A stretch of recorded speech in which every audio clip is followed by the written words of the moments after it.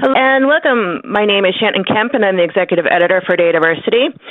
We'd like to th- thank you for joining today's Dataversity webinar, Trends in Data Modeling, this year's latest edition in a monthly series called Data-Ed Online with Dr. Peter Aiken, brought to you in partnership with Data Blueprint. Dataversity so let me, without further ado, let me give the floor to Megan Jacobs, the webinar organizer from Data Blueprint, to introduce our speakers and today's webinar. And we can see the presentation again. Perfect. Megan, hello and welcome. Hey, hello, hello everyone and welcome. My name is Megan Jacobs and I'm the webinar coordinator here at Data Blueprint. Uh, we're pleased that you found the time to join us for today's webinar on trends in data modeling. As always, a big thank you goes out to Shannon and Dataversity for hosting us. Uh, we'll get started in just a few moments after I let you know about some housekeeping items introduce your speakers for today. One hour presentation followed by 30 minutes of Q&A. I'll try to answer as many questions as time allows, but feel free to submit questions as they come up throughout the session. Uh, answer the top two most commonly asked questions.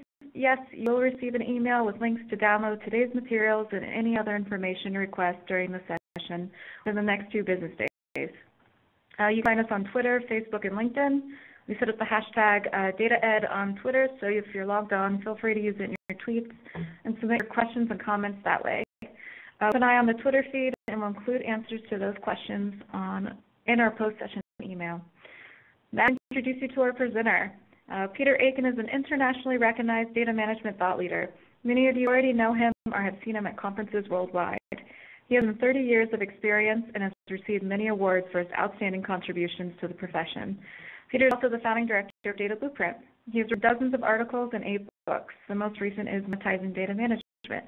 Peter, I'll let you introduce our guest speaker for today. Thanks, Megan. So real pleased to have with me today Stephen McLaughlin. Stephen has a very, very interesting career. He's been the head of marketing and PR for a game development firm. He spent a lot of time in application development, and then like many of us, to the realization that if we could get the data part of the application stuff right, things would be easier. Not easy, but easier. And that's, of course, all we're trying to do is to help people get to easy on this.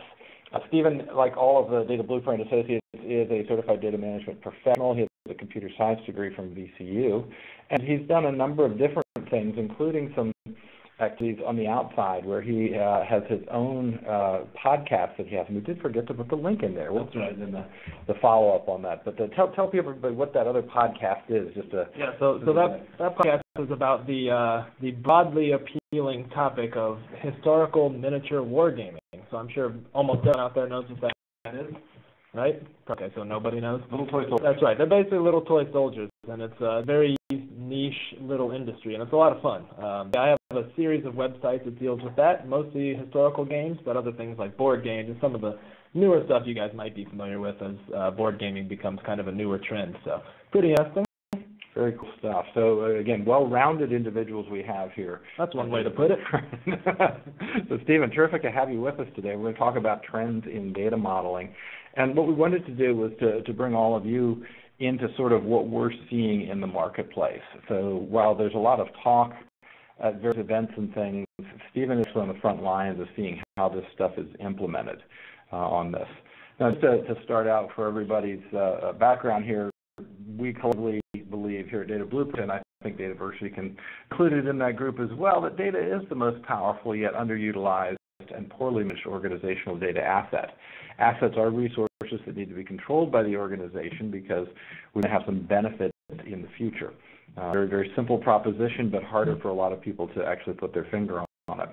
Data really is your sole non-depletable, non-rating, durable strategic asset. And when you compare and contrast it with other types of assets that we have, some people say it's the new oil. Some people I see it down as the new soil because you can plant things in it and they grow. Or we've even got one group that says it's the new bacon. Okay. I would take that a step further and say it's the new bacon mayonnaise. Bacon mayonnaise. There we go. All right. like those bison burgers we were eating the other day. when you compare that to data assets, to financial assets, real estate assets, and inventory assets, we manage those assets in a very different manner in which most organizations manage their data. So our goal here is to help you all unlock specific business value in your organizations by strengthening your data management capabilities, by providing tailored solutions to your specific business problems that you're having, and building lasting partnerships with you overall. So let's dive into the presentation, Stephen. We'll talk about today. So uh, you'll, you'll, notice there's a bit of a focus on NoSQL kind of towards the middle there. I think that's just some emerging trends that I think might be kind of interesting. Uh, a bit of a high-level approach to it today. I'm not going to get too far under the hood, but thought it'll be kind of interesting to sort of approach those from a broad spectrum. But starting from the beginning, we're going to go back over what really a data model is. Uh, we hope that most of you joining us are already familiar with those concepts, but just in case, we're going to walk through what a conceptual and a logical and a physical data model is. And specifically, we're going to tie that in by uh, addressing what issues poor data modeling can uh, can introduce. Uh, and, and, you all hope you all are all familiar that there are uh, myriad issues that that can introduce. Uh, we're going to go into different models, different uses. Uh, the focus is really going to be the right tool for the right job, as opposed to one model to rule them all. So we'll talk about, uh, again, like I said, some of the, the NoSQL, um, uh, NoSQL architectures that are sort of coming to the forefront now. Uh, and then we're going to tie it off by talking about kind of how it's changing. Uh, we're going to discuss patterns and use, uh, this growing abstraction for application and data sharing. Uh, we call that data sharing the world, right? These APIs that are going to just make data available to everyone and anyone who wants it. And then we're going to end with scaling out, not up, and a few uh, thoughts about things like sharding, and make sure shard yourself. right. we knew that was coming. We knew, yeah, I, I warned you guys. Great. Well, let's dive in and, and what is a data model as far as that goes? Right. Okay. So uh, a data model, as you all are familiar with, it basically organizes your data into elements and standardizes how the other data elements relate to one another. Pretty straightforward. You guys have seen them probably, uh, you know, all throughout your, your daily life. Uh, in Data Modeling Made Simple by Steve Hoberman, he said, a data model is a wayfinding tool for both business and IT professionals, which uses a set of symbols and text to precisely explain a set of real information to improve communication within the organization and thereby lead to a more flexible and stable application environment. That's a dirty, but I really think that's a pretty exhaustive explanation right there. Another way to think of it too is, and, and Steve concentrates on this on his definition, which again is what you do in the practice, which is the idea that we really all need to be on literally the same sheet of paper. Right. And one of the other things you don't know about Stephen is that he's also a musician and has uh, had a band uh, in the past and did uh, well over a thousand shows out of the back of a van and lived that way. Which isn't as glamorous as it sounds. but but as a musician, you can appreciate the fact that we need to be on the same sheet of paper. Absolutely. And it's a common language for you to speak, right? Precisely. And that's exactly what we're trying to do with the models here, is to provide that same kind of commonality in there. Right. We're going to talk about uh, how data models are expressed as architectures. Uh, I think well, you know the main idea about them is that these attributes of these entities are organized into entities and objects, and that's graphically represented typically. Uh-oh. I lost my screen for a second there. Uh, it entitles, oh, I'm sorry, that says entities, doesn't it? Entities, objects are things whose information is managed into strategy. Uh, let's, look at the next one so we can show a couple examples. Yeah, and Key, there are a bunch of examples of entities organized into uh, objects here, but uh, and, and, attributes organized into entities. We'll get to architecture though, which is a little bit harder to show the examples. That's the reason. I'm glad I read that typo. That was pretty level. uh, combinations of attributes and entities are structured to represent information requirements. That's pretty straightforward, right? You're thinking of a customer. You're thinking of an address. Right? Thinking of a, a, a shipment or a product. And, and poorly structured data constrains organizational information delivery capabilities, right? And that's uh, that's I think if, if you have poorly defined customers and you're trying to ask questions about your customers, that's going to add all kinds of complication on top of that, as I'm sure most of you are, have come to be familiar with. And many of you have heard me make this analogy as well. One of the things we absolutely try to get the clients that we're working with to do is to not label things at the wrong level of abstraction. For example, customer is almost always the wrong level of abstraction. A very simple example is if you're talking about customers and you say mail a coupon to our customers, and if your customers are current customers and you're telling them the thing that yesterday is now cheaper as a result of this coupon, you know, with a very bad taste in their mouth. Also, we, we, we almost always need to take our customers and divide them up into different subtypes. Uh, again, customers versus uh, potential customers is one way to think about it. I think you'll see a common theme about what Peter's talking about here, and that a lot of thought needs to go in at the front end if you really want to get the most you can on, on back end, I think. Look at that going from more granular to more abstract, and finally the last part of it. That's right. So the, the models are organized into broader architectures, and so when building new systems, architectures are used to plan development.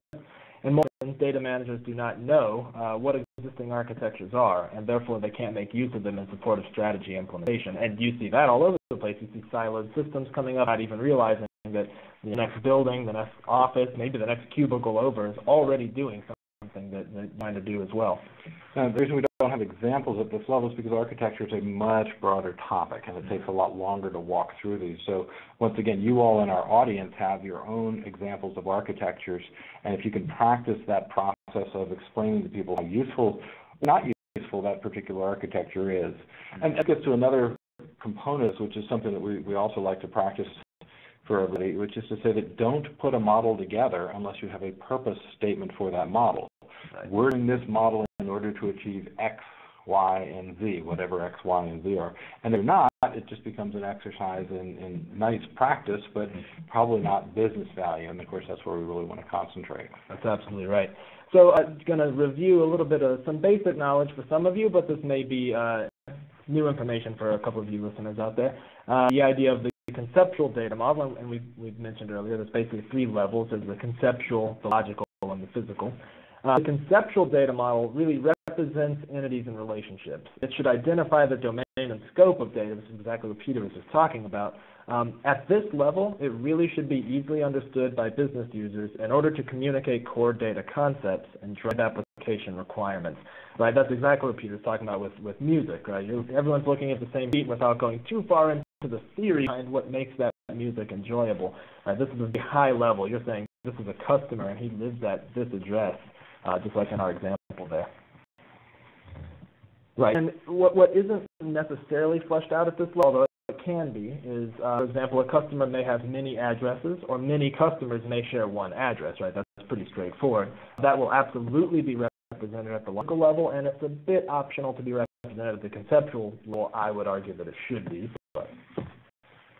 Let's look at a, a specific example around this. Here's an example from the Veterans Hospital system that we were working on in the early 90s. Now, this is an example of how data modeling was done in the past. Uh, and one of the reasons we're doing this particular webinar is because we wanted to bring you guys sort of up to date with some more modern techniques. But this is a very good traditional use of the data model. And you'll notice that I've circled the relationship between admission and discharge.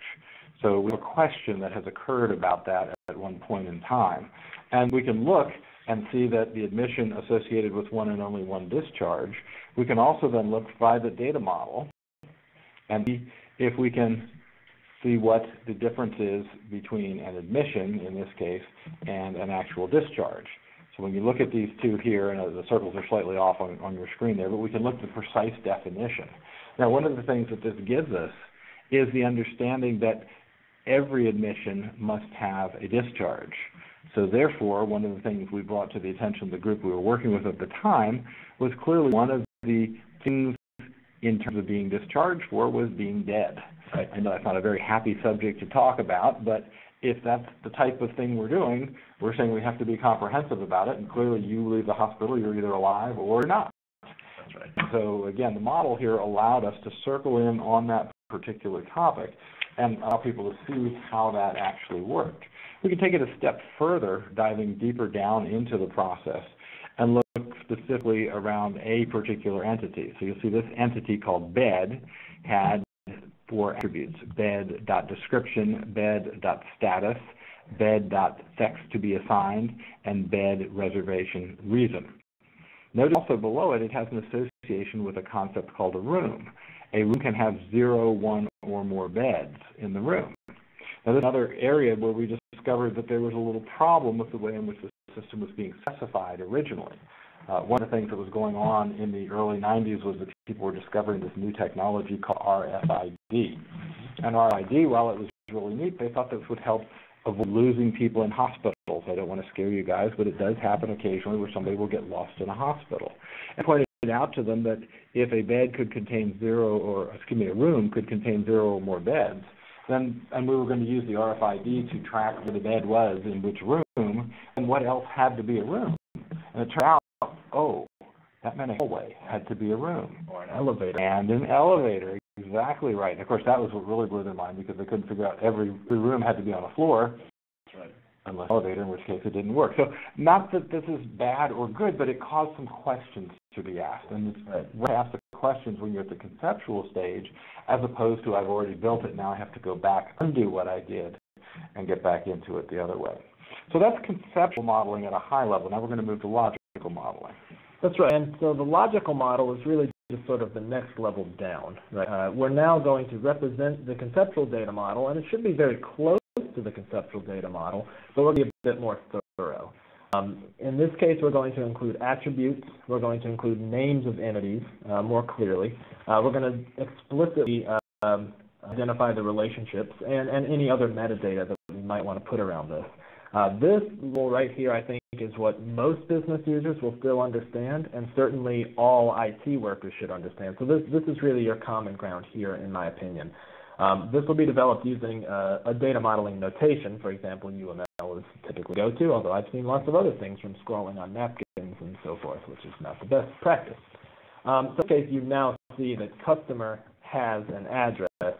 Um, not written there is the inverse relationship of that, is that address could have many customers. So this is an many-to-many relationship between the two. Uh, you can certainly think of plenty of real-world examples for that. Um, but we've now gone beyond what a customer is by explaining exactly what attributes make up a customer. Um, clearly, this is not exhaustive, being just an example, but in this case, for this business purpose, we've identified a customer as having a customer number, probably their key, possibly a surrogate ID, uh, going to have a social security number, their first name, their last name, their salutation, and a phone number. Right now, I should argue the phone number should possibly be pulled there, but that might be over normalizing. And then the address is going to have a street, city, state, zip, country, pretty straightforward. But those are the things that identify that entity and how the two relate to each other. And notice we don't have anything about the customer's dog in that particular right. place, which is an explicit business decision at this point to say that we're not going to talk about dogs. Not that we have anything against dogs, it's just not part of the business problem at this point. So you include, and by definition, then what you exclude also. At conceptual level, we weren't looking at that specificity. Now we are. Right. And without going too far down that rabbit hole, right, how much redundancy do we see out there? How much data should have been excluded in the first place? But we don't need to go down that right now. Well, but it, it is interesting in the sense that Lewis and I argue about this all the time. And I think that about 80% of the corporate data out there falls into the category of redundant, obsolete, or trivial. He thinks it's closer to 95%. Yeah. So either way, the, the, the two answers are not good. Right. So conceptual, logical, of course, everybody knows the next step is physical. That's right. And in the physical data model, we're going to describe the specific database implementation of the data. I've seen physical data models really vary pretty wildly uh, between organizations, and even a couple of different uh, standards organizations think have sort of different definitions. I'm going with the fairly middle of the road idea that it really is describing within the specific technology you're using so something like Oracle or, or SQL, you're going to be using that notation. Um, consequently, the attributes will now be named according to either your business or your technology naming conventions. Uh, you're going to see your data types. You're going to have accurate table names. You're going to have key information. Your relationships are going to be built out further into the, the structure that's actually going to be represented as physically. And so you see the slight variations here between this and the uh, the logical.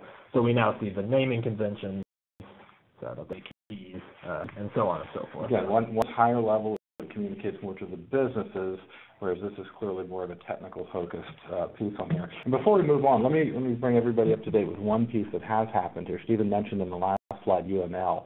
Uh, in the data modeling community, there used to be a bit of tension around people that used UML because um, uh, you'll have some challenges originally where it was uh, uh, not really representing the full robustness of what we do in data modeling. And the uh, people at OMG reached out to DAMA and put together a group. Uh, David Hay was instrumental in, in, working that particular piece. We now do have an improvement in UML that allows us to do robust data modeling in there. So that's the first thing. It used to 20 years ago, people would go, oh, I'm not going to go into UML because I've got to get really hairy with my normalization. And if I get I'm not going to be able to, to do it in UML. The answer is now we in fact can do this. That's right. Um, so now we mentioned earlier, we're going to just talk a bit about some of the consequences of poor data modeling, and they can be quite vast, actually. Uh, you think of, uh, of issues around that. Um, right off the bat, poor data modeling up front can cause data quality issues downstream. We all probably realize that. Uh, if the model isn't a true representation of the business concepts, it's going to impact confidence in the data. And we see that quite a bit, right? If, if a worker says, I don't trust that data, well, then that data is as good as useless to them, right? Uh, the potential for poor database um, application performance for reads and writes. So, you know, you can normalize, and we're going to talk a little bit more about that, but if it's taking ages for your beautiful data model to do what it needs to do, right? If you're trying to do an application and it takes you five minutes to one customer, well then you probably rethink your data model or your technology and your architecture for it. Typically, it's a, it's a good place to start with looking at the data model. Yeah, we, we get the question oftentimes, can you come help tune the Oracle system? And we'll figure out that it's not the Oracle system that's the problem, it's the stuff you're putting in the Oracle system. That's right. Yep. I just gave a good example of that. Right. And I think this is a big one uh, we run into is this lack of flexibility in your model can cause difficulty aligning with evolving business requirements. And what it means is you constrain yourself within the data model. You didn't think of the future being flexible. And so uh, what happens is you wind up overloading fields. I mean, how many times have we seen an email field in something like, uh, I, I don't know, a date of birth field or just something where it really doesn't belong? And that causes problems for people who that hasn't been communicated to. I can stuff that in that field without asking IT to fill me out a bunch of forms and triplicates and all the rest of things. And of course, that's where you end up with real, real big problems. Okay, really quickly, just because it's fresh in our minds, I'm going to respond to one of the questions there saying what's the consensus on reference tables, and I, I absolutely agree with that. Uh, right, the state as a free type field without a reference table absolutely does not make sense. And I, I, I'm a big fan of those tables, and especially nowadays that there's so many data services out there, you can actually get USPS um, information for addresses and make sure they're validated. So just to answer that question quickly, yeah, I think that example uh, certainly is something we could really scrutinize over and over because again, I think that uh, state should be separate. Really nowadays, I think address should be a validated field. So to answer that in the middle, but I thought that was pertinent right here. Yeah, absolutely. And then again, what are we going to do when we add the 51st, 52nd, 53rd states That's to the? exactly right. Yep. Everybody go back and reprogram that? I think not. That was a good question. Uh, difficulty integrating data in the future. I'll be honest with you, this is probably the biggest issue we face day in and day out is integrating data. I think it's a little bit of a recursive problem, right? What happens is uh, someone doesn't trust the data. So then they build their own system that's separate, that meets their own needs. They don't trust the other data, and then that happens again in the next office building, or that happens again in the next line of business.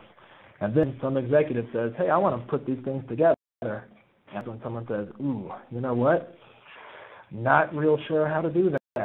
Are you going to call? so, so that's that's a big deal, and, and that's uh, you know especially nowadays as we're moving towards. We very much believe that uh, not having a grasp on your data is going to to be a major uh, impact in your future. So, you know, it's uh, yeah, it's, it's one out there.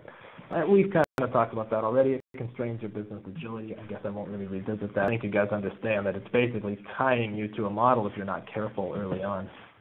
And, and again, if, if it's the model that wasn't really well thought out, then you're left with nothing but workarounds in the future. That's right. Nothing but the real problem with most software packages is that they tend to have their data models not as well thought out as a, a data modeler might do it. That's right. And speaking as a developer, I've never, ever, ever done a workaround. Right? Okay. Fingers crossed on that one, guys. um, and again, it can create operational inefficiencies. I think that's more just feeding into what we've been saying. Now, this is an important one too, right? It does limit workflow transparency. It can be difficult to tie everything together uh, when you cross multiple um, uh, systems or multiple silos because you had to uh, expand that way. Uh, so I, I think that's a pretty good one. Do you have any thoughts on that? Because I know that's something we've run into time and time again. The the real key there, and I, I heard silos described differently at a conference last week. Right. They're considered to be cylinders of excellence. Oh, that's beautiful. I love that. but but but you're right in the sense of tying them together, We've got a lot of, of different parts, and probably many of your organizations have the same situation, where you have data in separate places, and somebody sort of has chocolate and somebody else has peanut butter. Unless they happen to round the corner and bump into each other while they're both holding a pile of fudge and a pile of peanut butter, Right. they'd never really know that that was the case. That's right. So unless you engender situations, try to have regular meetings. This is a part of data governance, different webinar topic. We did that one actually last month. But unless you have a mechanism for saying, come to the table and share what data you have with other people, it becomes very, very difficult to, to understand these things. And, and people find out by happenstance, and we'd rather have them find that program. That's exactly right. Yep. Uh, I think this kind of supports what we're saying, It's, we just know that it's impacting actual business processes. It's impacting your insights. If you can't get a full view of your customers, that's a problem. Right? Everyone wants to jump to this new trend. They want to have big data. I want to have predictive analytics. Well, guess what? You can't get to this. You can't answer simple questions like, who are my customers? Sounds dead simple, doesn't it? To say, I'm a, I'm I'm an executive here, and I want to say, you know, my customers. How many customers do we have? That's not an easy question to answer when customers are spread across three different silos, and they have different definitions and different systems. Or, you know, this person hasn't bought anything from me in 24 months. Are they still a customer? Uh, and I'm getting a bit into business rules here, but I, I think it's uh, it's very pertinent for the data model. I think an example of, of one of the things that happened on one of the projects that Lewis and I were on uh, many, many moons ago. Right. Uh, we were implementing a data model that was going to go into production, and we discovered an error in the data model. And we, we told everybody, you know, sorry, uh, we just discovered this. It was a late addition, a late requirement. When we incorporated the requirement, we could tell that the data model that we're about to field is inadequate. Right. Management said that doesn't matter. It's going to go out Monday no matter what. Mhm. And we were able to add up the amount of overtime that it took the staff of 300 programmers over the next six weeks to go back and do it. And management came back and said, well, we should have listened to you guys because clearly we know exactly how much overtime we just paid over the last six weeks, and it would have been a lot cheaper than delaying the project by a couple of days to Mhm. get that particular piece of it right. That's exactly right. Yeah. So let's uh, move on a little bit. Okay. We're diving a little bit now into normalization. And I'll let you take this one away. yeah, we're not, we're not going to repeat for all of the wonderful data models that are out there uh, the normalization processes. I, I will say though that as data modelers, it's not the conversation we want to have with executives per se. Um, it is important to be able to explain the business consequences of not normalizing. And because it's taught so happily in most um, educational circumstances, even good, smart IT people didn't necessarily get a good education in that. As it happens, it makes it harder for everybody to have this kind of an understanding here. So the, the basics are really what we're trying to do is set up the situation here where we would love to have the vast majority of data models analyzed at third normal form. That's right. And this is the part that most people don't get around to understanding, and normalized, of course, for production constraints. And you alluded to that earlier, Stephen. That's right. So what we could teach in college and university here is a model that looks kind of like this. I use CM2 because I use a, that abbreviation as Common Metadata Modeling uh, on here, which is really what we're talking about in terms of everything. If we start at the lower left-hand corner, we have our physical as is. We then taught to move to logical as is. And if we're not going to change the requirements, we can move to the logical 2B, that's quadrant 3 up here uh, on there. And then finally the physical as is model. Now, we as data modelers, most applications people do not understand the need for that, and they go strictly from technology-dependent physical to technology-dependent physical. That's a problem. And if we can't explain the reasons why that doesn't work in, in terms that mean things to executives, which means you're usually explaining it in terms of dollars or bodies, one way or the other, uh, it is going to be a problem for us.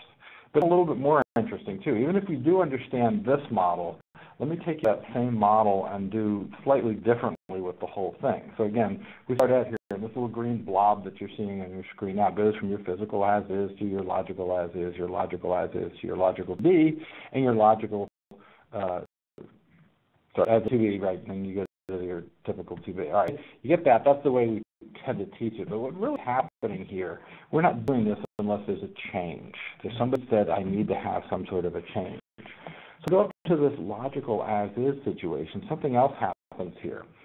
We have other logical as-is data architectural components, other models that are out there that need to be integrated. And you mentioned before, Shin, how difficult it was to integrate things if you didn't have transparency into it. Profiling can help give you some insight into those ideas, so profiling is a tremendous adjunct for the models.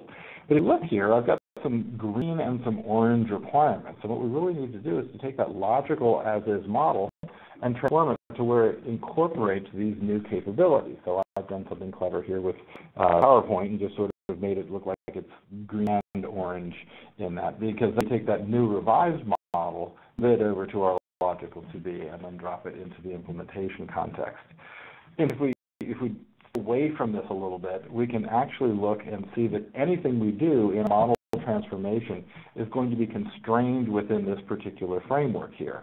Again, as is and to be, and at the bottom, conceptual, logical, physical. I do one more thing in this as well, and that's that I validate the models as we're going through. And that's the process of asking the users to try to prove us wrong.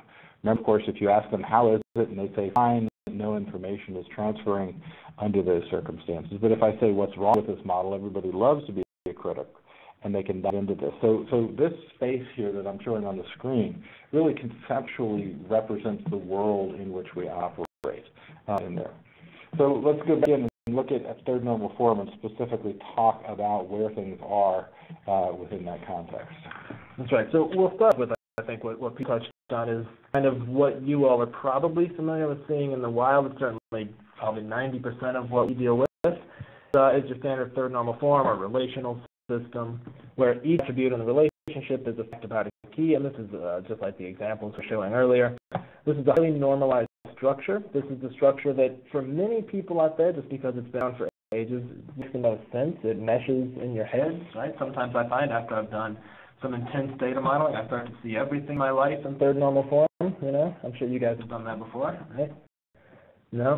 Nobody else? Megan shaking her head. um, so, uh, they're making more.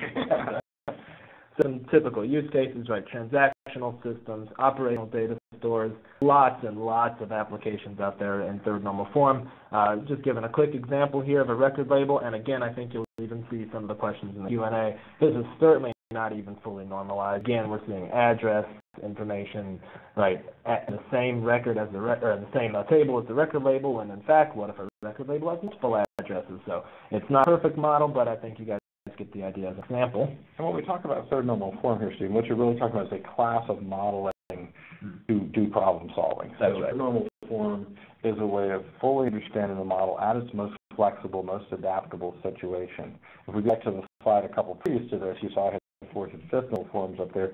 Those have some additional capabilities that will allow us to draw out specific business rules. But if you get to third normal form, that's generally a good place to look, to stop, take a pause, and see if there are of the model we need to go further with it That's or right. not.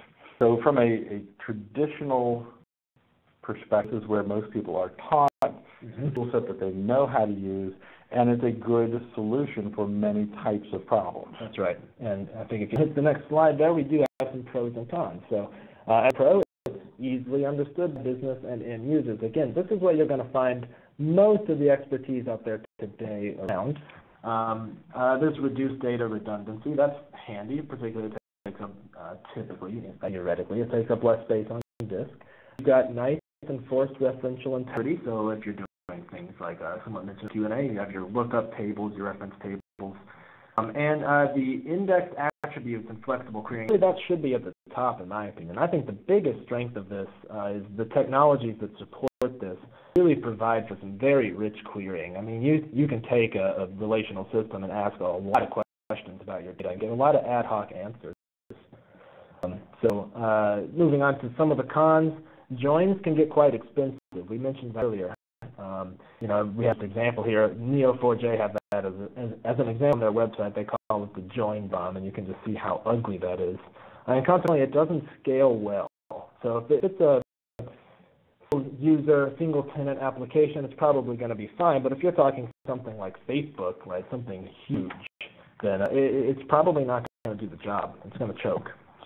So when we talk about the, the modeling at the third normal form, one of the things, again, that's important to do is to make people understand you have to have some time in order to do this. You can't just put the model out there going from your logical model to this, but you really do to analyze it.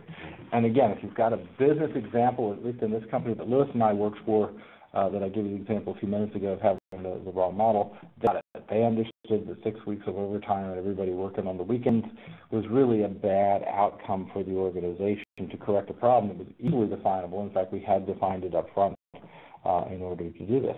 And it's a little hard because when you start talking about third normal form, you end up with more boxes on your chart. And it looks like more data. And you've got to be really, really clear to make sure that people understand just because more boxes doesn't mean you have more data. The boxes represent a class of items, and we're breaking it down to a different level of granularity.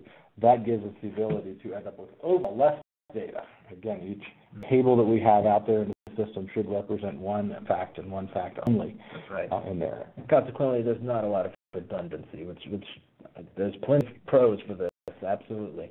However, seeing, you know, as businesses evolve and as the web continues to grow, we are seeing that it's not necessarily meeting every business need like maybe it used to be able to do. Come close, anyways. Or That's right. So go ahead and move on to the next one that is probably what something else you guys are familiar with. Maybe not everybody, but certainly most anyone working in uh, BI doing any kind of analytics is the concept of a star schema. Right? This is comprised of fact tables, they are centralized fact tables, and basically quantitative data, and then any number of adjoining dimension tables. So those dimensions are you know, rapidly changing, or they can be sliced and diced on when you're doing analytics. Uh, and as I mentioned, star schema is absolutely optimized for business reporting. So use cases, right? Online analytic processing, business intelligence.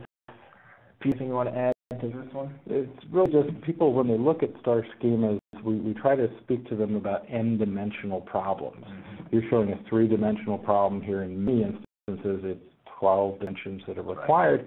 But then you also, as you start to add that complexity onto this, now get back into your join bomb. Again, I like that particular. Yeah, that's good. Isn't? We'll have to write a song about that That's one. right. So we have something in it. But, but this is to the important part of it. If you let the user specify what they want, they'll give you, wow, you know, I'd, I'd like to have one of these and one of these and one of these and one of these. Mhm. You've had to deal with these requests before. You, the answer is yes, we can build it, Right. But it will cost you something. And so again, if you're going to have a billion joins that are going out there, and by the way, star schemas tend to avoid a lot of these things. Right. Um, so what you're trying to do is pre-structure and anticipate what the queries are going to be, but you can also prioritize them. So that while somebody may say, oh, I've got to have all these dimensions, if you actually build the model, watch it for 12 weeks and discover that they're only using a little bit of the functionality, That's right. then you can relax some of those constraints in, in your prototyping uh, That's right. mode. And that's exactly why you see data marts kind of right? These are marts that are specific built to answer specific questions. So, so if we go to the next page, we'll talk about some of the pros and cons there. Uh, the pro is it's a fairly simple design. Now, I, I should have put an asterisk on that. I do find that sometimes people have a little trouble wrapping their head around a star schema, but typically it's, it's fairly understood. Uh, very fast queries. Most major uh, database management systems are optimized for star schema design. So you are seeing that uh, um, a lot of support out of the box for a lot of um, DBMSs that people already have in place. So A uh, well-established pattern that people are familiar with, which also is very helpful. You throw something new at somebody, and it's going to take them a little bit of time to become comfortable with it. that's absolutely right. Some of the cons is questions must be built into in design, and you know, again, I wanted to put a star on this. You also see that as a pro if you really want to um, contain and, and know exactly what your data is being used for. But it, it's a little bit of lack of, lack of flexibility. Uh, the questions are by design built in. Um, data marts are often centralized on one fact table. And again, that's kind of a weak con, but But fails, right? Right. So that's it. That, Right. If you want unit, Right. that's a very different That's structure. right. And so it, it can cause some integration issues, although you, you could just build another star schema for that. But again, it's you know, a little bit of a lack of flexibility, very specific um, problems that these are solving. So those are the first two. What is the need for this third method come That's about? right. So this is one we're actually pretty fond of this here at Data Blueprint. Again, the, the entire team is certified in data vault methodology. So That's right. Um, and so the Data Vault is really designed to facilitate long-term historical storage, focusing on ease of implementation. And we'll talk a little more about that, but the idea is these can basically be rapidly stood up because they don't really care if the data structure changes much, and, and I'll explain that in a second. They retain data lineage information. that sounds like Nirvana right there. Yeah, I know. it, it's not all It's not all bread and or milk and honey, but it's you know it's pretty good. Uh, the concept behind it is this all data all the time, and it's a bit of a hybrid approach of Inmon and Kimball. I believe Dan Linstedt sometimes, maybe jokingly or not so jokingly, refers to it as third and a half normal form. So it's a little bit differently normalized. Uh, and, and here's kind of the basics of it. And again, we're only kind of touching on the surface of this, so if this is something new for you guys, please don't hesitate to reach out to me or or whatever. We can put another webinar together on That's just right. topic. Because Data Vault's pretty interesting. But the main concept is it's comprised of these hubs. Hubs contain a list of business keys that do not change very often. So see in this example of a customer, right, an order. These are your hubs. Then you have your links, which are associations between the hubs. You're seeing right there the customer, and he, the customer has an order. That's what's relating to them. And then you're seeing satellites, and those satellites are the descriptive attributes associated with hubs and links. And those satellites are interesting because they can basically change as much as you want because they're always relating back to a hub. They can add new fields, they can add new, uh, they, they can remove fields and add new ones, and you're always going to have them. Answer this question really quickly because I did say it. Uh, uh, how we can you can reach out to us. Uh, you can reach me on Twitter at sj mclaughlin. My name's hard to spell, but you can find it at the beginning of the uh, of the presentation. You can reach by email at smclaughlin, no J in that one, at datablueprint.com. So I'm detailing that a bit there, but Should an alias for that. We can fix yeah, that's no. I'm not going to make an alias for my beautiful last name. Perfectly long. Uh, so, some pros and cons to the Data Vault. I got honest, it was a little hard for me to find the cons just because I'm really smitten by Data Vault. But you know, in fairness here, uh, it's got simple integration because of this all the data all the time approach. Uh, it, it's really quite simple to integrate. Uh, it has immense amount of data with excellent performance. Um, that's right under the hood, right a little bit inside baseball. Uh, and, and it's got your full data lineage, which can be really important for auditability, things like that. One is because it's so simple to integrate, the complication is really pushed to the back end. So it is going to require some ETL work to really get what you want back out of it, I think. Um, it can be difficult to set up for many data workers, right? There's just a lot of expertise around it. And I think that's going to be a con that holds true through the rest of these examples because we're going to talk very high level about some NoSQL solutions. And there's not a lot of widespread support for ETL tools. That's really kind of changing now. I think we're seeing uh, newer and newer ETL tools are supporting this out of the box. But I, I, I think that was worth mentioning at least. One of the things I like to think about as a use case for data vaults is an organization where they're set with a series of regulatory requirements. Mm. Regulations change. You don't want to go back and normalize the data warehouse to come up to speed with all regulations. So what you can essentially do is freeze time at certain places. right. And you don't have to go back, but you can still compare apples to apples That's within right. the, within the modeling uh, method along those lines. So let's, as we get into NoSQL, talk a little bit about some of the things that are hypeful around it. And uh, again, one of the things I like to introduce to groups is if they've not seen it, Gartner's five-phase hype cycle methodology starts off in the lower left-hand corner there with a little green ball. It's a technology trigger. Cool. Somebody says, you know, some of the data is more important than other data, right? So we get this great idea, and of course that gets us up to the peak of inflated expectations, where the hype outrises the uh, the actual business value. Which means the next thing that's going to happen after lunch is that you drop into the trough of disillusionment. Uh, oh, it sucks, right? It's neither really good and it, also doesn't suck because we really need to find out where it is. We do that by climbing the slope of enlightenment, and eventually landing ourselves on the plateau of productivity. Right. So again, a, a nice little description, and I just wanted to show you that because you have to see where big data falls into that category. Now, this is as of a couple of years back, but it's still fairly relevant. Text analytics, for example, has where to go but up. If you're doing analytics, that's a great place to be in because the future already been through that. Wow, it's going to solve everything, or it really sucks. Now we're getting back to what it really can do.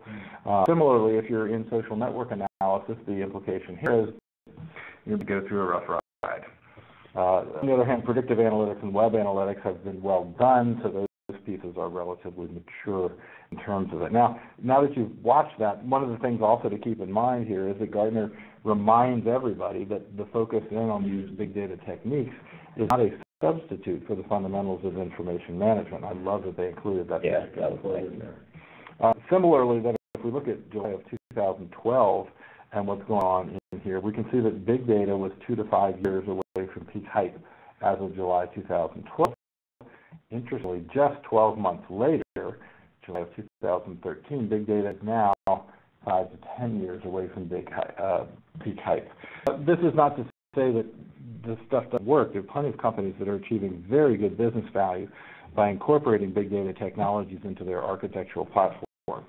But how you're going to do that and how you're going to cut through the cycle that is there is something that you all are the best people who are able to come up with that. You your business, you know these techniques, you can look at this and say, that tool will solve this problem and this tool will solve that particular problem. So a specific example on this. And, and I just quickly want to introduce NoSQL. If any of you out there are unfamiliar with it, I do encourage you to, to take away from this a, a desire to read more about it. And there's a great opportunity that actually uh, DataEd does. Uh, there was the NoSQL Now conference uh, out in San Jose. I got the opportunity to attend, and it was really quite interesting to see how this technology is maturing. Now, if some of you have heard the name NoSQL and thought, what does that really mean? It's a bit of a misnomer. Uh, it's kind of been backwards uh, changed to say not only SQL, but a lot of these do now support the query language.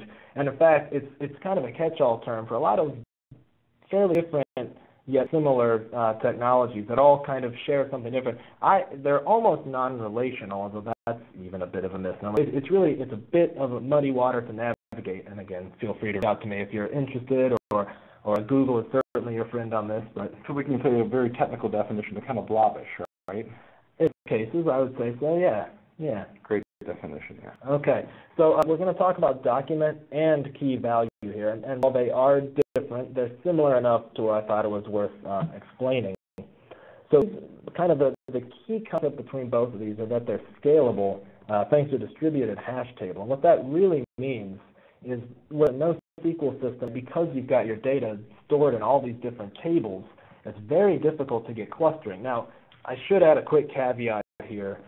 Almost every single technology vendor is working to address these cons. So I say this, and I'm, I'm very much in theory. And it's probably changed by the end of the webinar. Exactly right. So many SQL providers are attempting to account for these cons. And, and some cons you'll see me mention here, there are specific technologies that work to address those. I'm talking very conceptually here. The idea is that it, it can be distributed nicely, right? Especially for something like web scale, massive, you know, multi-user, uh, multi-thousands of users uh, application, something like Facebook. You can have that housed uh, all across different um, uh, servers, different geographical locations, uh, whatever you may need.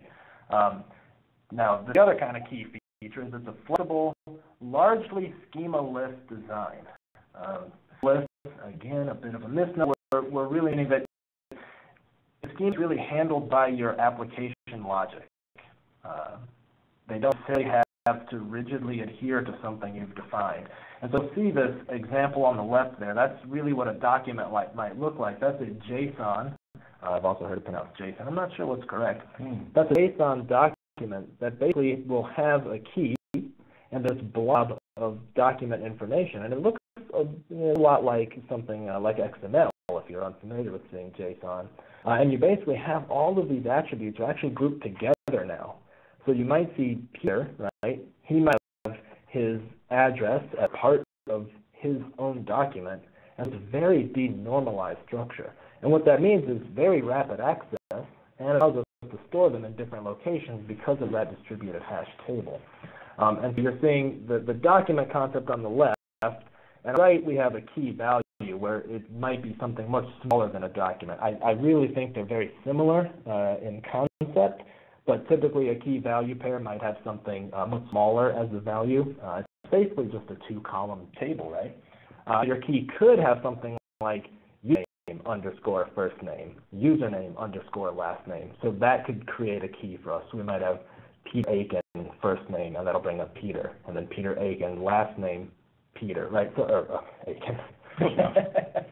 Uh, so, okay, so I hope that makes sense. I realize that for some of you, this may be very new information, and there's a lot out there, and we have a bit to cover, so I'm going to move on from this. But uh, uh, quickly, the use cases, which we did talk about, applications with many users, many writes.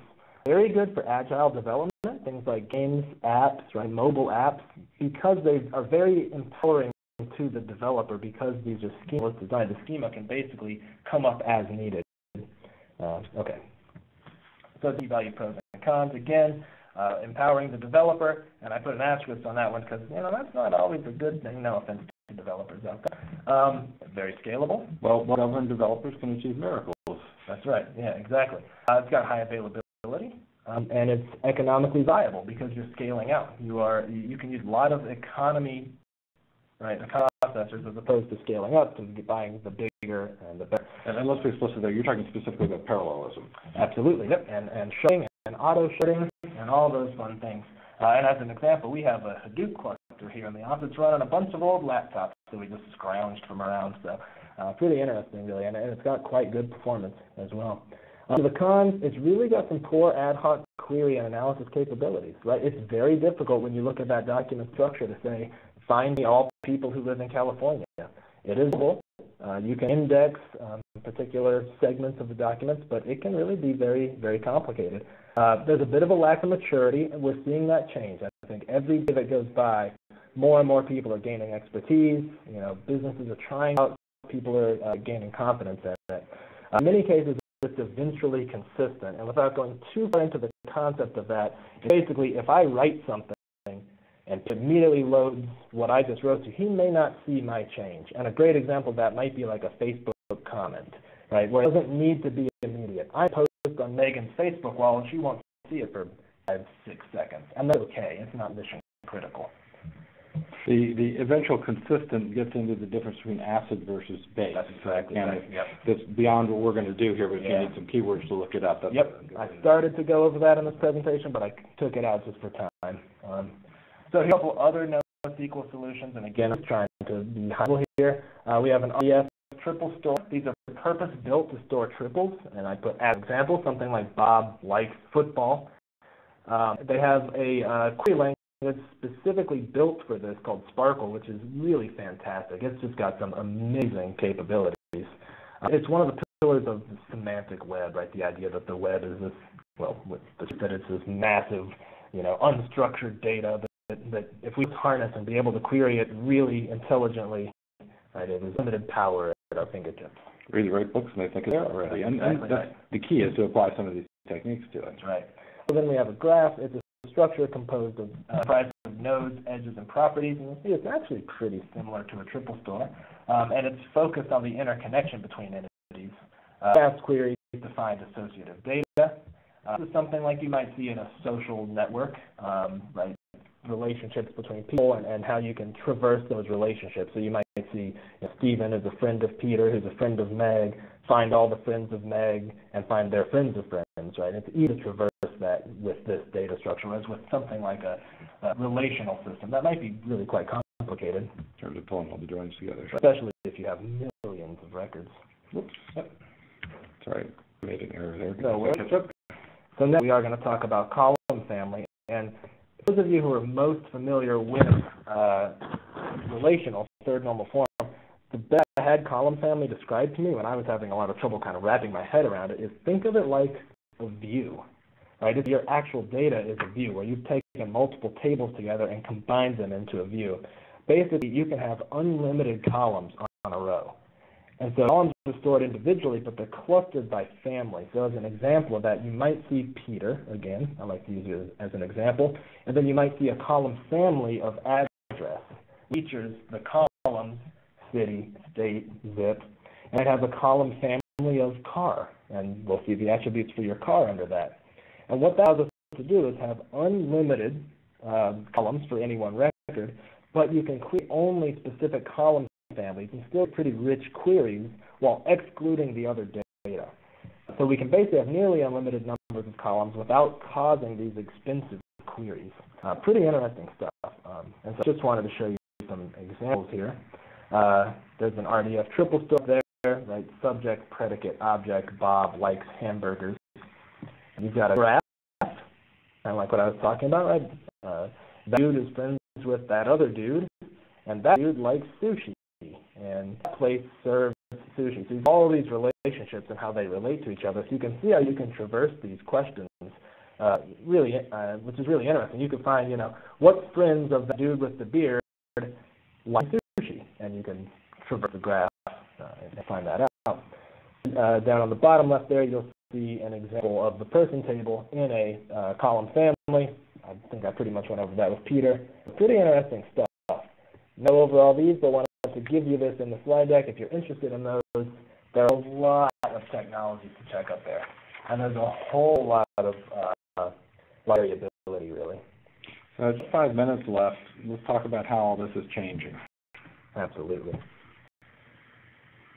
The key of this is that we want you guys to understand there's lots and lots of starting points to come from.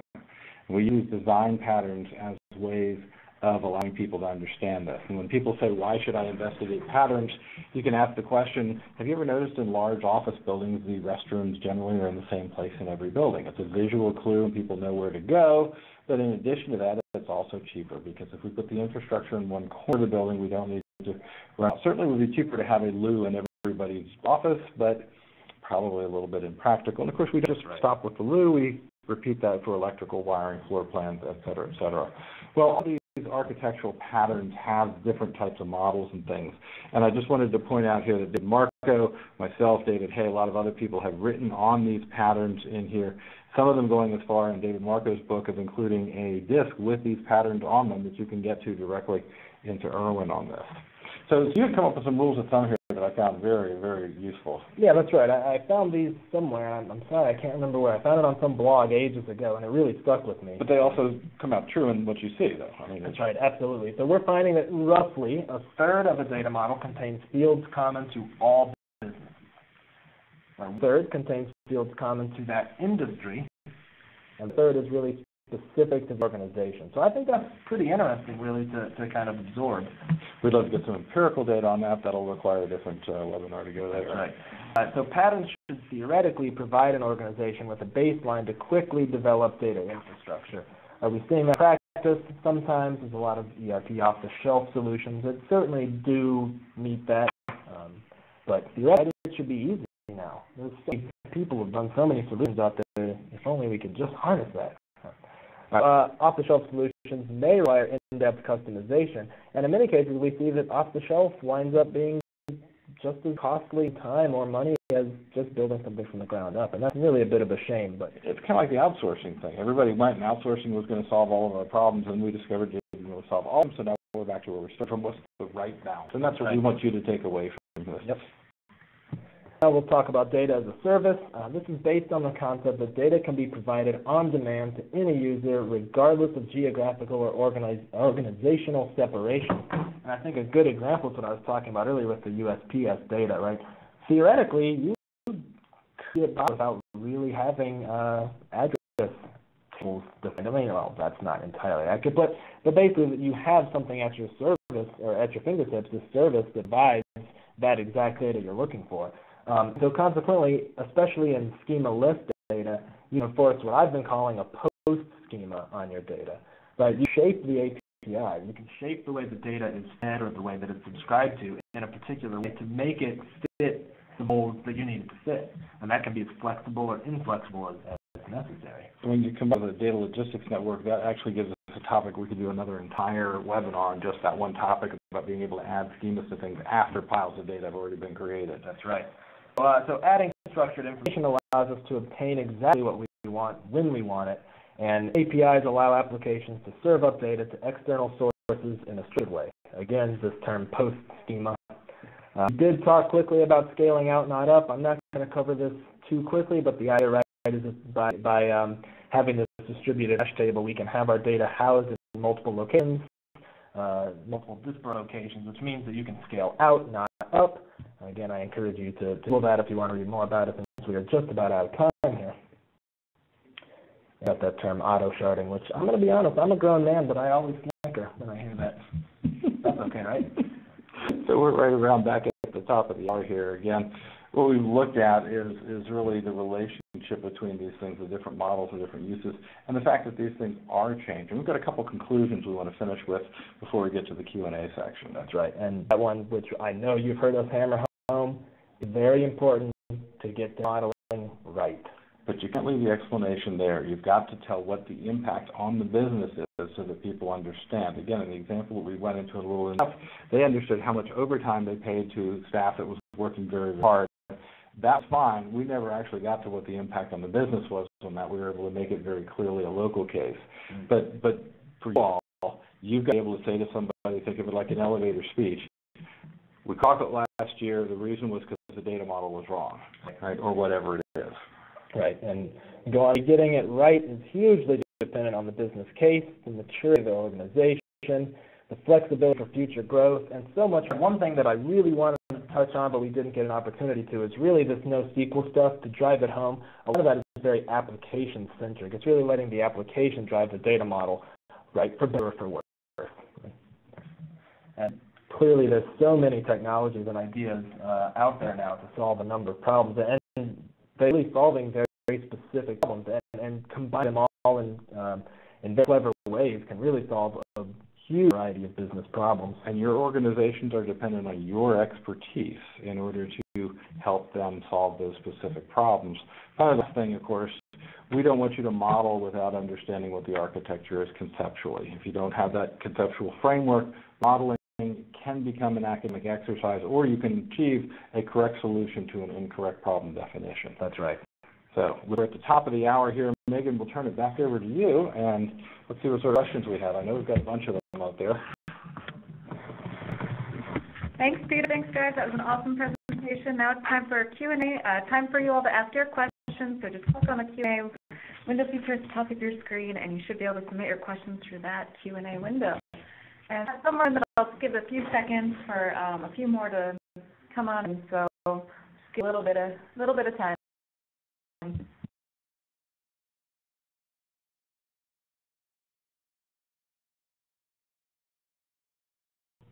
I'll get started. And the first question is, how do you respond to developers who do not want to reuse corporate reference data code and say it's easy to create an XML mapping file? That's a question. Uh, I guess you can't whip them, right?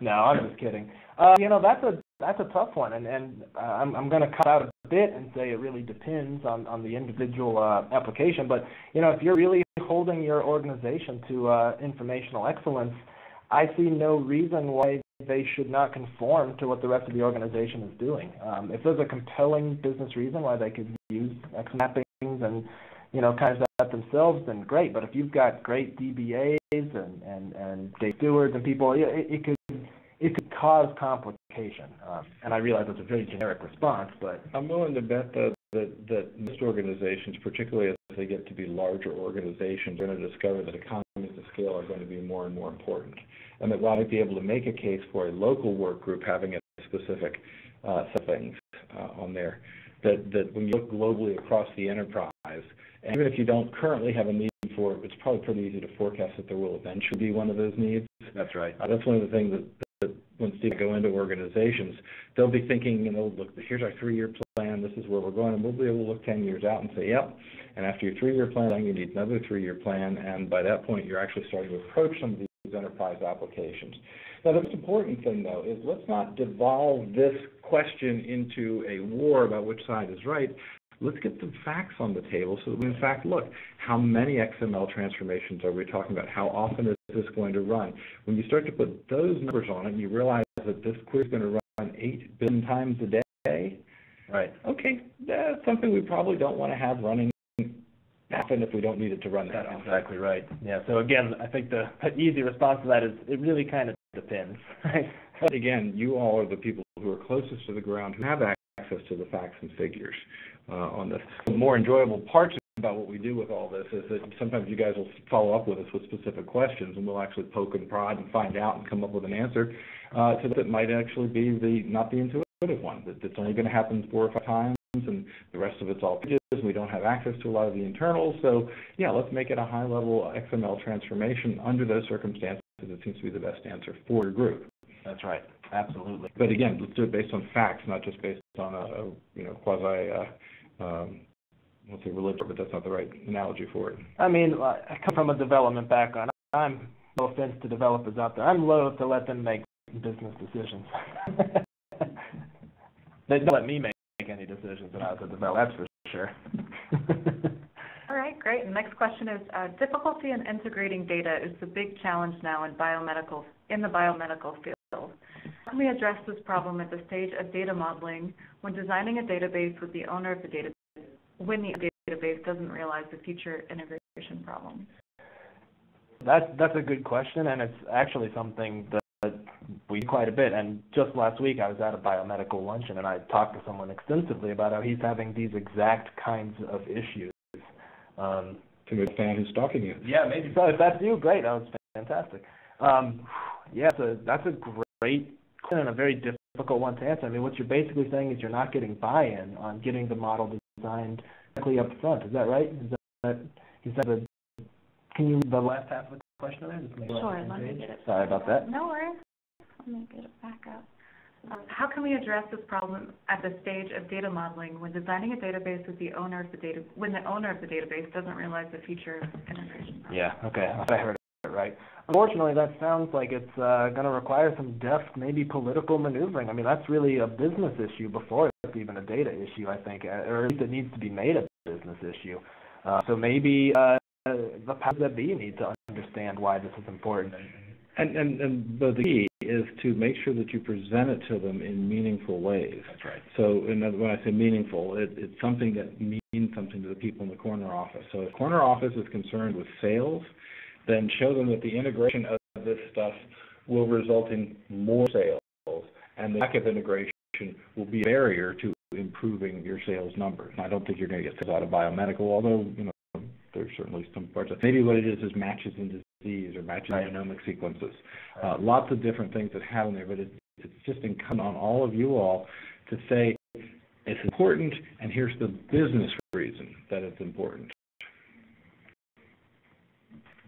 Sure. Okay, the next question is, uh, given new platforms, what are the skill sets that a data modeler really needs today? Andrew, haven't seen you out there for a while.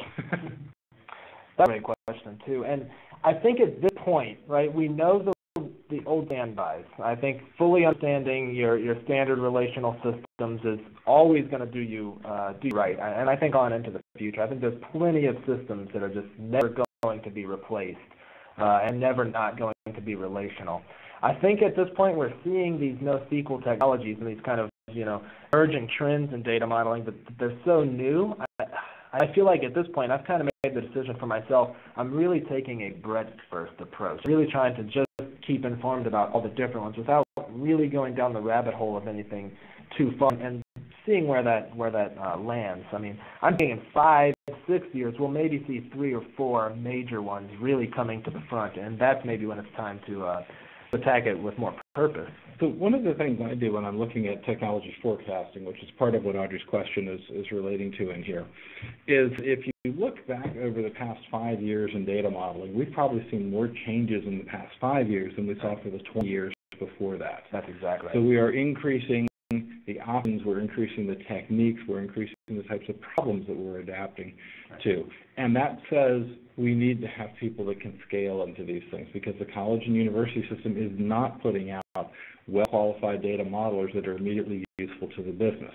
I'm not saying anything bad about what's going on in colleges and universities, but when you're dealing with toy problems as we deal with in the university, it's very different from walking in and you were working with something that had to do with uh, bone marrow sequencing That's right. uh, out there. Uh, you know, there's just no experience that you're going to get in college and university that's going to prepare you for that. Or, for example, for an organization that has the kind of volume that some of these organizations are dealing with. When you do a query literally billions of times, that's enough to make even a fraction of a second uh, a, a, lot of difference in the organization adding up. Especially for, the business case, right? And I think uh, part of saying is I think it's important to know about all the different tools out there so that you know that you're using the right tool for the right job rather than going to one of your old standbys. And I, I've really been relating this to sort of the, the code revolution, right? I mean, 20 years ago, there weren't that many programming languages. There's certainly not that many uh, paradigm shifts. I mean, uh, barring, of course, a couple of examples. But now there's so many different languages and, and programming paradigms out there that it has led to increased specializ- specialization and a little bit of fragmentation. I think we're going to see a little bit of the same thing um, data modeling. Fair enough. Got a question.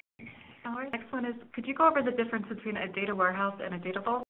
Yeah. So briefly, right, a data warehouse is sort of purpose-built to have a single version of the truth, I think. Um, whereas I would say a data vault is more about capturing all the data all the time and being able to get to the truth. That's kind of a high-level look. I'm not sure if you're looking for something more technical than that, but uh, that, that's kind of the way I always go into right, because your data warehouse is going to be feeding your uh, individual data marts, and those are going to be asking very specific questions. So your data warehouse is going to be gathering very specific data. Your data vault is more about just give it all to me, and we'll figure sort it out later. Like, give me all the data now. We'll let God sort it out later. So high level description of those two. Uh, question. Thank you for that. Next one how do you address the performance issue where there is many-to-many relationship between entities? Well, that's kind of exactly what NoSQL is all about, I think, in many cases. Um, if you're which two approaches. Yeah, sure. The first approach is a structured approach where you model it, come up with the intersecting entities, build a set of structures, and everything sits right there. But the second approach, that presumes that you know most about what you're is. So if you know the answers, you know exactly what your data looks like, you can build a solution relatively easily there. That's right. More often today, though, the data is not as well known, Right. and the need for speed is, is pushing us into these other techniques, which is That's right. And as I mentioned earlier, plenty of technologies are springing forth to try to address these needs. I mean, even things like materialized views and, and uh, items like that can, can help with this. Uh, certainly, that's that's a problem that people deal with every single day, every day. So you can denormalize in some cases where it makes sense to denormalize. You beef up your infrastructure, which is a tough, you know, bitter pill to swallow. Uh, oh, the hardware vendors like it. yeah, that's true. That's true. All right. The question is, it says schema in a document or key value data store is handled in the application. Where does logical modeling happen? That's a fantastic question. Um, you know, I, I'm not sure I, I have a great answer for that. It's most likely in the application package, it, it though. will be probably at the application point. Um, yeah, I mean, it, it should be handled in some metadata surrounding the application, right? I mean, if, if you're doing it, it should be, you should have metadata surrounding that so that uh, there should be some transparency, some buy-in. Realistically, though, it really is happening at the application level. And, and the problem with that is that when you're in a largely packages environment, your data model is the one thing that ties together all the application packages. So I'm switching to a different presentation right now just to, to show you all a slide that I had developed that addresses some of this. The key here is that what you see happen is that the, the reason they can get these software packages to work on a variety of databases is because they're using the database for just table handling, which means important functions like referential integrity are implemented in the software. First of all, it means you're underutilizing your database. And secondly, the people who develop the software implementations of the database functions are software developers. They tend not to be data people, so they do a good job, not a great job Right. of doing that. And of course, then you ask the package to be customized, and the person who does that work is a consultant who is going to leave the organization after they're done, and you're left without a lot of the context that goes into that. So short piece on that. We'll remember to include that one slide in the rest of the presentation so everybody can get to that. Okay. Next one is, uh, do you think data modeling will be used more in data virtualization than physical integration scenarios going forward? That's a great question. I wish I had a magic ball around that. Uh, I feel like, and maybe this is purely anecdotal, and I realize saying anecdotal data to a bunch of data nerds is probably not the best approach. Oh, they love it. I used to hear all the time about data virtualization, and I personally haven't come across it much recently in my professional uh, career. Um, so I'm not sure that I can really answer that one. I don't know that. Sure. tend to say yes, though, because the, Yeah. the one thing that is happening out there is that they've now taken the data storage technologies and put them also on Moore's Law, which means the price of these things is going to go in half every two years, and the capacity is going to double. Mm. But if we can do that means we can do more with virtualization, so I'm just going to see more growth in that area, just based on that, that particular scenario. All right. Next question is, uh, most of the GIS data models are third S Normal one. Normal. We're making a data. All right. But this data is used for viewing in a large scale by a viewing application. I guess more. Yeah, that's a follow-up maybe to, to Yeah. the question. Right. I, I assume that's causing performance issues. Is that Is that what the same? Possibly. That could have. Yeah, so I can see that, right? You're taking this massive amount of data that's highly normalized. You're needing to join it all together, which is very expensive, and it's, it's probably got some performance issues. I, I hope that's what you were saying. Hardware vendors love it, right? Right. The next question is, uh, how do you deal with DBAs who focus on performance, who are resistant resistant to normalized design, use of cascade constraints, Foreign key. foreign key, use of cascade deletes, etc. They think it's going to degrade performance. Is performance the only concern? I think, uh, Al, the answer to that is no. Performance is probably not the only concern, unless it's the only concern for that business case. Which leads us to a, a, a webinar we did a couple months back on data strategy. So the key piece of that is what is your data strategy going to involve? If your data Right. strategy is focused on performance, as Stephen said, then absolutely everything Right. else focuses on performance. And we know of a couple of organizations where that's really important, Right. and we're really glad those organizations do that. It's probably not true for the majority of organizations. That's what I'm thinking too. I mean, I, it, it's difficult to answer based on you know a, a variety of factors, but I think in general, well, it's hard to even put a general response to it. But again, very specific, I think, to your individual issues uh, and and the business case for it. But I would argue that, the DBA, his job is to try to argue for that, but there needs to be from the other end, right? Saying it's not always about performance. It's great that you're there and you're an advocate for performance. That is important, but at the cost of what, right? At the cost of uh, of having duplicate data or having or introducing poor data. Uh, If they can work for ten of their buddies later on in the organization, or, or a data cleanup organization, that could become highly right. problematic. Buy yourself a couple of extra milliseconds on your writes or your reads downstream if it's causing a lot of issues of, of um, integrating data to, to get some business insights, then it's definitely not worth it. On the other hand, if it's the difference between your customers using your application or not, then yeah, it probably is worth it. The next question is, uh, what is the difference between a data vault and data lake? So a data vault, Stephen, is described to you as a, a class of modeling um, techniques that you can use to put in place to do rather complicated evolving systems under circumstances where a data warehouse might not be the best approach. Word, the, the phrase data lake to talk about just the overall environment in the organization. The data lake is the, the way we like, it's typically a quality type of a process where people think of, I've got all this data in a data lake and I've got to go in and clean it up. Well, you know, if we're going to clean up the water in the lake, we probably got to find the source of the pollution because while it's a good idea to clean up the water in the lake, it's also a good idea to find the sources of the pollution and to eliminate them so we don't have to continue cleaning up the lake. Otherwise, it just becomes guaranteed work for somebody, and that's a wonderful thing, but Yeah. All right, next question is, uh, what advice do you have for a recent college grad trying to break into the data modeling field, assuming they have a degree in the IT field with uh, database management classes and data modeling classes? networking, Yeah. networking. It's all about networking, and, and you know, at, at this point, I think it's you really differentiate yourself. I think by being able to speak kind of business's language. I think if you really focus on the IT side of things, that's great, and there's a lot of people with those skills. But if you can really try to bridge the gap between that IT knowledge and, uh, and tie that back to a business case, I think that can be a, a big differentiator. I would also say it's unfortunate that you're a recent college grad because I would have taken your last course in college as an independent study and done a project for a company that you might want to go to work for uh, in order to do that. Um, then you you may have some opportunities here. Uh, again, there's a number of conferences. We have uh, one of our favorites coming up is Enterprise Data World.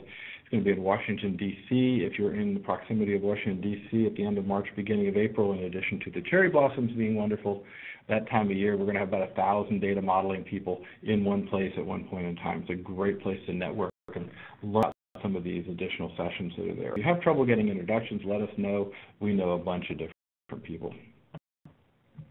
Um, oh, the next question is, imagine that there is a ERP implementation project. Therefore, there is no need for a physical model. Do we still need modeling tool and effort if schemas and tables will be created by ERP tools themselves? So clearly the cart before the horse in this case. I would hope that the organization had done it this way. They would have a logical model of the business requirements that they wanted the ERP to solve, and they would look at the various ERP options by comparing logical models of the ERPs to the model that they have. I'll give you a very specific example on that that we ran into in the U.S. military. Uh, one of the primary entities in an HR system is that an employee can be related to a to a position. And while that's an interesting, uh, uh, sorry, a person can be related to an employee, and, and most organizations implement that as a one-to-one relationship. In the military, many of the members and women of the armed forces have, have multiple jobs. So we have a requirement in the Defense Department that says that a person can be multiple employees.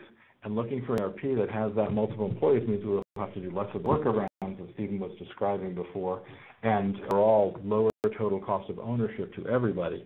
So I want that modeling to be done to help select the package. Once you have the package, you are likely to be asking the vendor for those particular models. So the vendor will give you the models uh, in many cases, and you can use those models to help implement the integration as well as the data um, transfer, uh, data uh, uh, transformation from the old package to the new package as well. So the models, again, not modeling for modeling's sake, but what is the business problem we're trying to solve, and then can modeling be useful for it? And that's what we're trying to do. And I think also just to follow up with that, we see so often people are jumping to tools to solve problems, and we think that really solving a tool should be further down the line. Uh, that may not necessarily be applicable in this particular case, but I think it, it, it bears repeating that we, you know we come into organizations that have well we have all these different licenses for this tool and this tool, but we're still having these problems. And well, you have to address root causes before you determine a tool. Technology is one of the three legs we'd like people to stand on. The other are people and process. That's exactly right.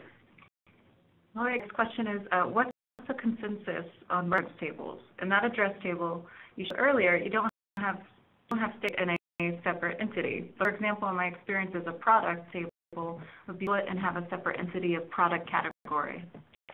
Yeah, I agree with that, and I, I think I mentioned that even kind of mid-presentation. I think someone else uh, mentioned that. I agree. I think that table wasn't perfectly normalized. Um, I think referential integrity is hugely important, and it's one of the massive benefits of going with a relational system. So I agree with you. Uh, absolutely, you can have um, people managing that data, ensuring that those reference tables are up to date and that they accurately reflect these business concepts.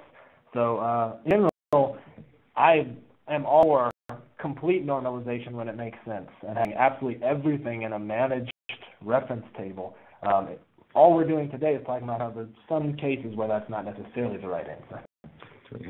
Sure. Okay. Go ahead. Okay. Um, asking about uh, the concern between ER and triples. The key there, of course, is that if you're understanding the way open data and linked data is working in the real world, almost everything is being stored out there as an EAV par, uh, uh, triple, uh, attribute uh, relationship right. triple in there. And if, if you start to structure your data into that in general, you're able to use some of these techniques much more quickly. You don't have to restructure your data in order to get it into that environment. Uh, there's a, a, couple of really, really good case studies that I could point you to um, that will talk specifically about much. But uh, one of my favorites is a colleague of mine up in uh, Fredericksburg who had looked at a $30 million data warehouse that was being built for the federal government. He was able to bring it in for $300,000. Mm. Those are the kind of numbers that people are going to pay attention to. Uh, great stuff. Um, the next question is, wouldn't it be great to have a wiki containing all of the different models and schemas? If we could keep the vendors from suing us for putting their intellectual property out on the web, it'd be a great idea. That's right. there, there are collections of these things, and DAMA does represent, uh, does maintain some of these. You'll see a lot of them we collected into our DMBOK, uh, which is, uh, again, a certification that everybody on staff has here uh, in order to do that. Um, we do have to be careful, though. Uh, you certainly would be able to do that internal to your organization a lot easier than we can do it externally, uh, because some of these things are, in fact, proprietary uh, organizations, and they don't want them to be shared. Now, we're happy to sign NDAs and work within those constructs, but that also means we don't just take whatever they have and put it out on the web. That's uh, just rude behavior. Right. Okay, great. Question is, uh, would you explain the differences between column family and Sure. Well, they're, not hugely similar, other than the fact that they're really going to have a, a key to their ordered data. Um, the column family is really like, like a chart. If you can imagine it like a view, operational. If you're thinking in third normal form, you're taking all these different tables and combining them into a view, right? That's really the main idea there. Is that it's it's a massive amount of data, or not, but it can be a million different columns combined. Uh, with a tuple, I mean, really at, at, at its core, it is kind of a tuple already because it's got this key, and then as soon as you think of these column families and values around that, so I, I guess the real question is uh, performance-wise, and I, I tend to think of tuples as uh, uh, I don't know. I mean, bite-sized chunks. Yeah, really bite-sized, more ordered data. The the key with column though is that they tend to be stored in memory. So the performance in columns tends to be fast, not necessarily because columns are a faster data structure, right. but because column databases tend to have a lot more RAM associated with them than the traditional databases. Yeah, that's definitely a point we didn't touch on, but sure. And um, somebody has been asking about um, having access to the slides after the session. Just to let you guys know, um, they will be emailed out to you two business days after the webinar. Um, some materials you have the recording, um, any questions that were asked, they'll be um, those will be included as well. But it looks like that's all the questions we have for today. Um, thanks for all the wonderful questions, you guys. Thanks for an awesome presentation, uh, Stephen and Peter. Um, next month we'll have a webinar on metadata strategies, so hopefully you'll be able to join us for that as well. As always, feel free to contact us if you have any questions. And thanks again to Dataversity and Shannon for hosting us. Thanks everyone and have a great day. Thanks, Tim. Thank you.